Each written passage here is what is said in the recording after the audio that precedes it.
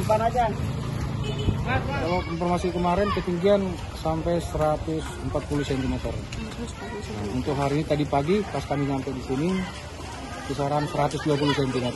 Sudah mulai surut ya Pak? Sudah mulai surut. Kemungkinan eh, berapa banyak nih Pak yang kemarin warga dievakuasinya?